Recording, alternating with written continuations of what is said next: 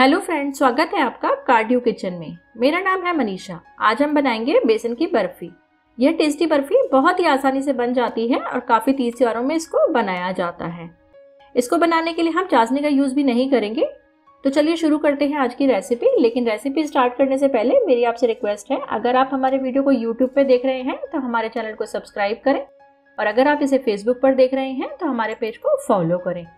तो अब चलिए चलते हैं गैस की तरफ़ और इसको बनाना शुरू करते हैं। इसको बनाने के लिए कढ़ाई को मैंने गैस पे रख दिया है। अब इसमें सबसे पहले मैं डालूँगी आधा कप घी। घी को हम गर्म होने देते हैं। घी मेल्ट हो गया है। अब इसमें हम डालेंगे दो कप बेसन। ये बेसन को मैंने बहुत ही अच्छे से छान के लिया है।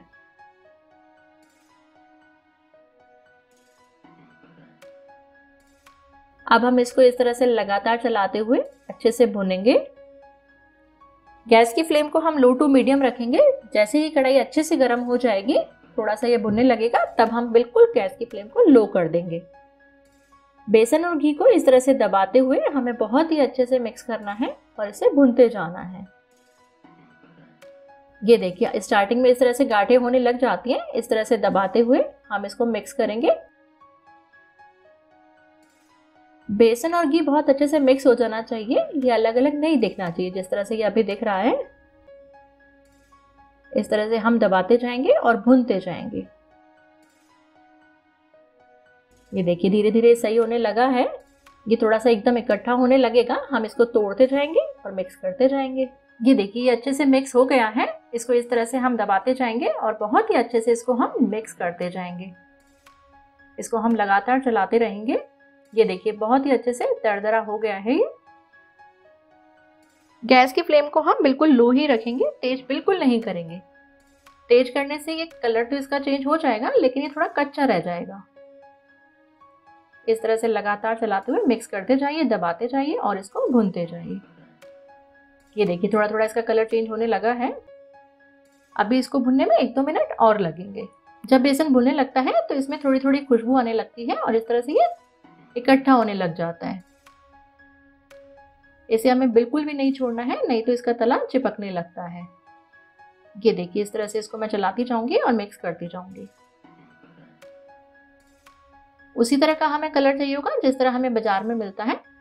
ये देखिए थोड़ा थोड़ा बाइंड होने लग गया है। इस तरह का टेक्सचर आपको दिख रहा है। ये देखिए, बहुत ही अच्छा इसका टेक्सचर आने लगा है, जमने वाला बिल्कुल।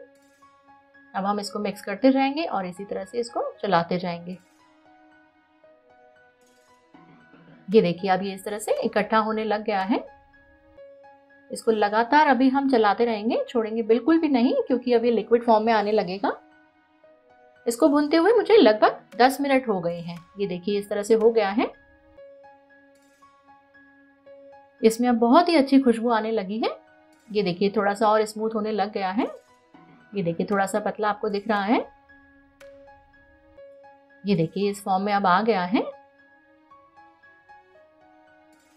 अगर आपको घी थोड़ा कम लग रहा है तो आप इसमें एक टेबल स्पून घी और डाल सकते हैं। ये देखिए, अभी इस तरह से हो गया है। बिल्कुल अच्छे से ये सीख गया है। ये देखिए, कितना अच्छा ये भुन गया है। इसमें बहुत ही अच्छा टेक्सचर आ गया है। ये बिल्कुल लिक्विड जैसा हो गया है। अब इसमें मैं डालूँगी लगभग एक चम्मच जितनी मलाई मलाई हमें ज़्यादा नहीं डालनी है, एक चम्मच ही डालनी है। मलाई डालकर बेसन में अच्छे से मिक्स करेंगे और इसको लगातार चलाते रहेंगे। मलाई डालने से ये बहुत ही दानेदार बनेगी।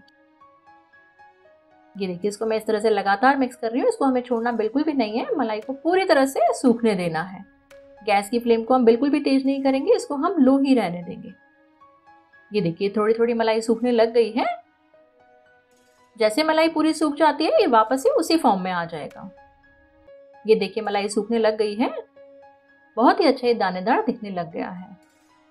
अभी हम इसको लगभग एक मिनट के लिए और चलाएँगे, ताकि मलाई पूरी तरह से सूख जाए और बहुत ही अच्छा इसका टेक्सचर आ जाए। ये देखिए, मलाई पूरी तरह से सूख गई है।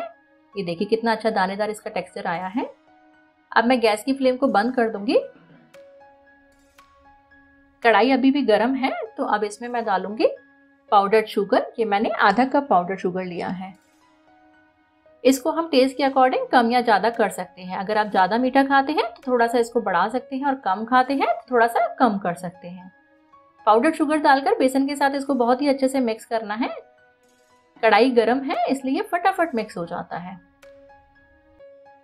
ये देखिए, इसको मैं इस तरह से लगातार चला रही हूँ। ये अच्छे से मिक्स होती जा रही है। ये देखिए, अच्छे से ये मिक्स होने लग गई है। ये देखिए, इसमें जमने वाला टेक्सचर आने लग गया है। ये देखिए, पूरे अच्छे से मिक्स हो गई है शुगर एक साइड नहीं होनी चाहिए, इसको लगातार दबाते हुए इस तरह से मिलाते जाइए और मिक्स करते जाइए। मिक्स रेडी हो गया है, अब हम इसको जमा लेते हैं। जमाने के लिए इस तरह की मैं ट्रे का यूज़ कर रही हूँ। आप चाहे कोई भी स्टील की प्लेट का यूज़ कर सकते हैं। सबसे पहले इसको हम इस तरह से ग्रीस करेंगे। ये देखिए, चारों तरफ़ अच्छे से मैंने घी लगा दिया है। अब जो हमने मिक्स तैयार किया था, उसको हम इसमें ट्रांसफ़र कर लेते हैं। ये देखिए, सारा मिक्स मैंने इसमें डाल दिया है। अब इसको एक स्पैचुला से इस तरह से फ्लैट कर लेते हैं। ये देखिए, बहुत ही अच्छे से ये पूरे फ्लैट हो गया है। अब इसको हम थोड़ा सा ड्राई फ्रूट से गार्निश करेंगे। अब मैं इस पे डालूँगी थोड़ा सा पिस्ते। ये मैंने पिस्ते को कतरनों में काट लिया है। इसी के साथ इसमें मैं डालूँगी थोड़े से बादाम। बादाम को भी मैंने लंबा कट कर लिया है। इसको भी हम इस तरह से गार्निश कर देते हैं।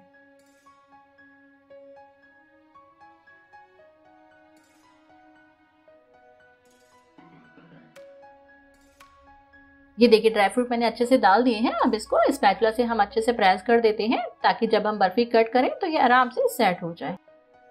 अब हम इसको रेस्ट करने के लिए एक घंटे के लिए छोड़ेंगे। एक घंटे बाद इसको हम कट करेंगे। लगभग एक घंटा हो गया है। ये देखिए, इसमें कितना अच्छा टेक्सचर आया है। ये पूरी तरह से जम गई है। अब हम इसको इस तरह से कट कर लेते हैं।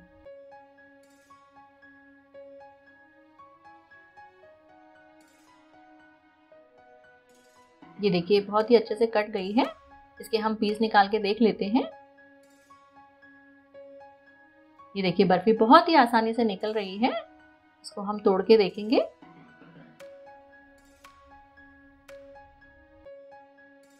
ये देखिए, इसमें कितना अच्छा टेक्सचर आया है। बिल्कुल बाज़ार जैसी ये बनी है। इसी के साथ बेसन की बर्फ़ी बनकर तैयार हो गई है। होपफुली आपको ये रेसिपी पसंद आई होगी। अगर आपको ये रेसिपी पसंद आई हो तो आप इसे ज़रूर ट्राई करें और कमेंट बॉक्स में अपने व्यू ज़रूर शेयर करें। तो चलिए, अब मिलते हैं अगली वीडियो में ऐसी ही एक नई रेसिपी के साथ। Thank you